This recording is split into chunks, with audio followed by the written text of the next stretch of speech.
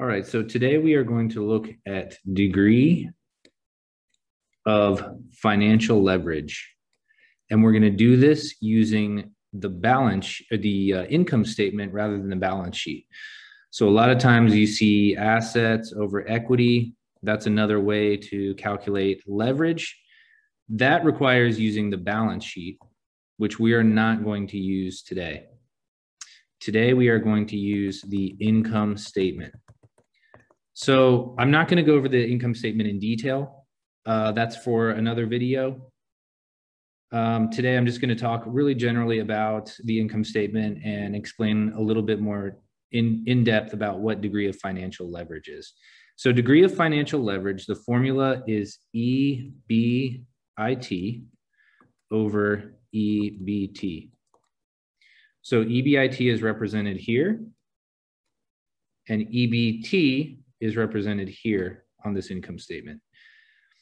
So EBIT is what we have after we, we have our revenue and we subtract cost of goods sold or cost of sales as, as it's sometimes called that's more of your your costs that are directly tieable to any one product that that a company sells any one unit so for example if you were a baker your cost of dough uh, that goes into each donut or cake that you make that would be included in your cost of goods sold but operating costs are what we use. Uh, that's what's represented here.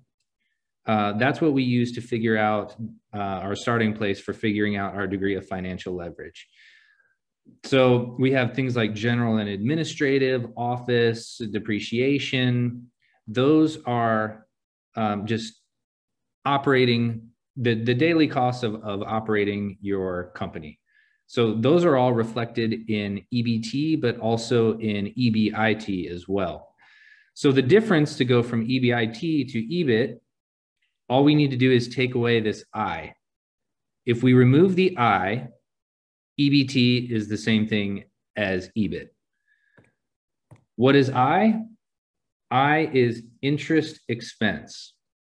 So this is why we call the degree of financial leverage uh, financial leverage instead of operating leverage, because interest expense is a financing decision. It has to do with how much debt a company has outstanding. So we have EBIT in this example of 12,550 and we put that over the EBT oh, sorry, the EBT of 11,850. And we get about 1.06. So what's one thing that we can do to increase this?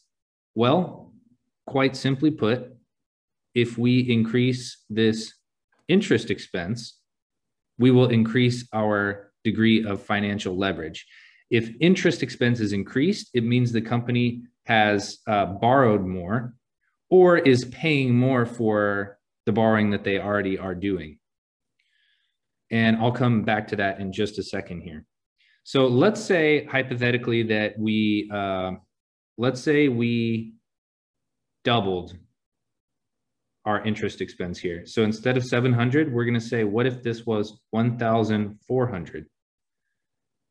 So now we have EBIT as before, 12,550. And then now we're going to take this original 11,850 and we're going to subtract out an additional 700 since we doubled our degree of operating leverage.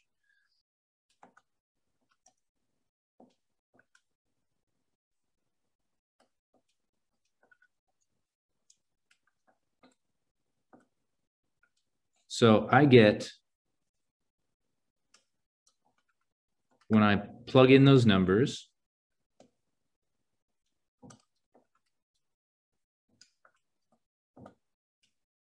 one point one three. So you can see we got a jump from our 1.06 that we had before.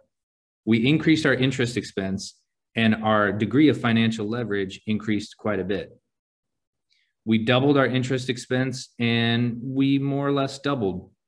We went from uh, 1.06 to, um, well, we really can't say that we, we, we doubled our degree of financial leverage, but this portion here that, that comes after the one, we, we doubled that.